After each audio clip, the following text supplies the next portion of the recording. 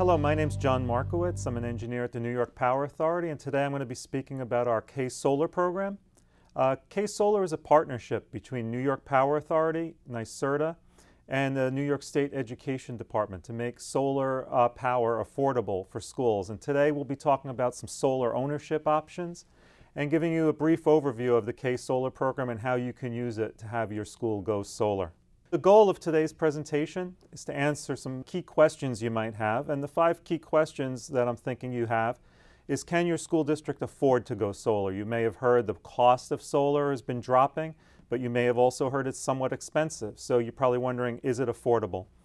And then a real key question with budgets the way they are is will your school district really save money by going solar? So we'll talk a bit about that.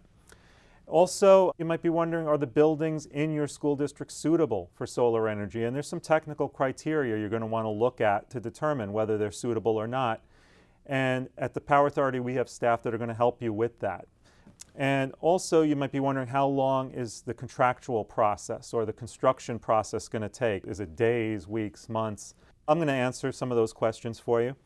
And also, you might be wondering, how does this K-Solar program work and how can the New York Power Authority and NYSERDA and the New York State Education Department assist you in going solar? And I'll go over some of those details as well.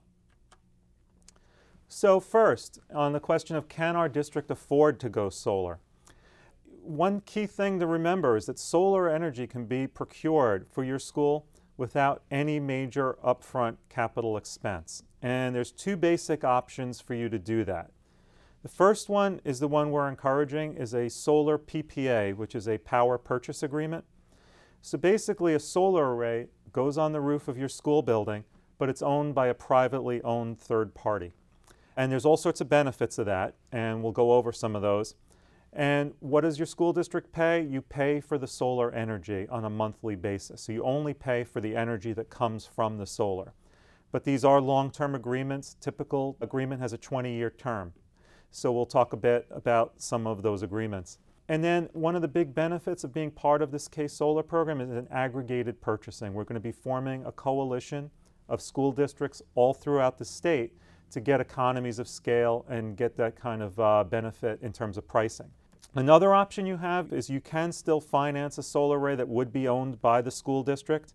You could do that through our low interest financing that we offer.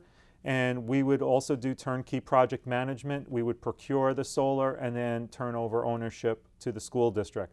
The economics of doing it that way are nowhere near as good, and I'll explain that a bit later. So how does third-party ownership compare to school-owned solar?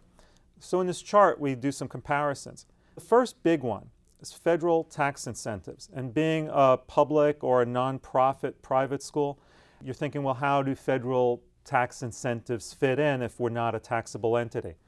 That's exactly right. The tax benefits for doing solar can add up to as much as half the cost of doing a solar array on your school roof um, you don't qualify for any of those. But if a third party that's privately owned owns the solar array and operates it for you on your roof, they qualify for all those tax benefits. They can forward some of that savings onto your school district. So there's some real benefits there to the third party owned. Also in terms of state incentives for going solar, if the school owns it, you would qualify for all the NYSERDA state incentives. There's also some incentives from the state education department for going solar, but that's only if you do a small solar system. For third-party owned systems, you could do much larger systems. They still get the full NYSERDA rebates. Try to cover the entire roof of the school, offset a large amount of your electric use and save as much money as possible. In terms of financing, if the school owns it, you'd have to go out for a bond. This would require a vote or you could finance it through us as an energy efficiency project. But this third party, they use debt and equity financing. So their cost of capital, it's a bit higher than yours would be as a government entity. So there's some pros and cons there, but overall still the third party option is going to be the most economic for you. Also, in terms of operations and maintenance, if you have a solar array and it's owned by the school district, that means the school's facilities personnel are going to be maintaining this. That might not be in their expertise, but a third party that owns the solar array, that's all they do. They remotely monitor solar arrays. They're only getting paid for the energy that the solar array produces, so they're very motivated to come out and fix anything that might break down over the years. In terms of experience, the third party, they're experts at owning and operating solar arrays. And in terms of cost certainty, if the school owns the solar array and something goes down and it has to be repaired, you're taking on a certain amount of production risk that you're not going to be producing energy in those times when the solar system's not operating. When a third party owns it, if it's not operating, you don't pay them. So that takes all that risk away from the school district. So there's a benefit there as well to third party ownership. In terms of the question, will your school district save money by going solar? We will answer that question for you. As your free energy advisor, NYPA at the New York Power Authority will do a free solar analysis for your facility. We'll also analyze your electric bills and do that cost comparison between your utility bills and the cost of solar energy. So you would have a sense of what kind of savings are possible by participating in a program like this. And one benefit of the solar power purchase agreement is long-term budgetary certainty that you will know 15 years from now what the cost of energy will be at your school for that solar energy. That's not something you can say about the electricity that you're currently buying from your utility. You don't really know what that's going to cost 15 years from now. So there are some benefits to these long-term power purchase agreements. In terms of the question, are you building suitable for solar power, we will also include an analysis of that in this free site survey that we'll provide you through the K-Solar program. So the key questions we're going to be asking you is your roof age, the kinds of materials the roof is made out of, and we'll determine whether solar is appropriate for that roof or not. We'll look at shading on that roof and do an analysis and say, yes, this is an appropriate roof for solar or not. If, say, your roofs are not suitable, there are some other options, and that would be a ground-mounted solar array if, say, the school owns some property that was not being used, like an old football field or something. There's also a parking lot solar canopy option, and these are the things we would go over in this site survey. And like I said, we would analyze your electric bills and also give you an estimate of how much energy the solar array that's suitable for your property would produce over the years. In terms of how long the contractual process takes, you're really going to want to leave three to five months from start to completion to get all these contracts in place. And like I said before, you have multiple contractual options. The first one that's listed on this slide is the one we would encourage you to look into, which is to join our K-Solar program. We have this aggregated procurement of solar power purchase agreements throughout the state. You'd be part of a coalition of school districts all throughout the state to buy solar, to buy it at scale, to get the best pricing possible. Another benefit of this is NYPA is providing all the administrative work for you. So we are actually running an RFP on your behalf. So we're administering all that for you, taking care of these technical details as part of this alliance of interested schools. One key thing to think about in terms of timeline is these federal tax credits that make solar so much more economically attractive, they will be sunsetting and that happens in the end of 2016. So those tax credits will drop from 30% down to 10%. And it's a key thing to think about because that solar array has to be completely constructed and operational by the end of 2016. There are other options, like I said. You can finance a district-owned solar array through us with our low interest rates, government to government and we do the turnkey project management, but like I said, not likely to be anywhere near as economic as the first option. And if your school district decides you want to go solar and do it on your own, we can also provide you some technical assistance to get you ready to do your own RFP.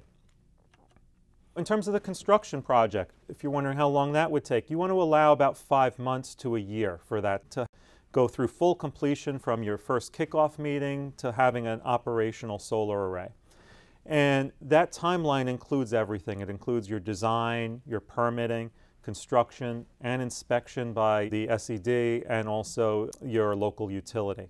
One real benefit of participating in the K-Solar program is that the State Education Department is one of our partners in the program and they are part of our team and they are going to have an expedited permitting process to get your solar through this design to permitting to construction process.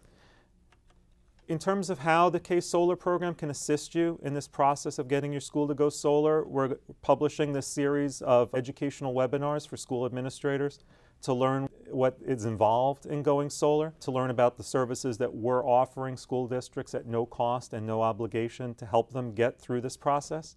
We're offering these free site surveys, the solar energy analysis, and we're providing this aggregated procurement where we're running an RFP on behalf of school districts all throughout the state and giving you the technical and administrative support as well as giving you the economies of scale to make solar as economically attractive as possible. We've built all the template documents to get you through this process, and we've also worked with the State Education Department to expedite the permitting to get these systems constructed.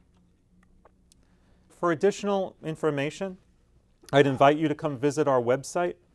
And on the website, you can register your school, give us your contact information, and we'll start working on the surveys that you need to get your school to go solar and to really understand the numbers. I'd also invite you to go to NYSERDA's website if you want to learn more about the solar incentives that are available. And I also have contact information on this slide that you could reach out to us, call us with your questions, send us emails, and we're eager to hear from you. Our K-Solar program has a sister program called Community Solar New York that's going to be administered by NYSERDA. And in this program, your school can be a hub for your entire community to go solar parents, small businesses in your school district can learn more about solar through this program. And this isn't a program that your school district would necessarily administer, but maybe the school district would be a host for this program. A local nonprofit, like maybe a, a parent teachers association, local environmental group, would actually administer the program using the school to have town hall meetings, educate the population about going solar, and then the population of the town would then do an aggregated procurement. The more homes that go solar, the better the pricing would be because they'd be doing a, a, large RFP on behalf of multiple homeowners. So it's an exciting program. There are a lot of educational components that would be great for the students at the school. We have contact information on this slide for the folks at NYSERDA who are running the program, and I'd encourage you to contact them. So with that, I'd like to thank you for your time for viewing this, and I'd encourage you to um, register on our website if you haven't already done so. Thank you.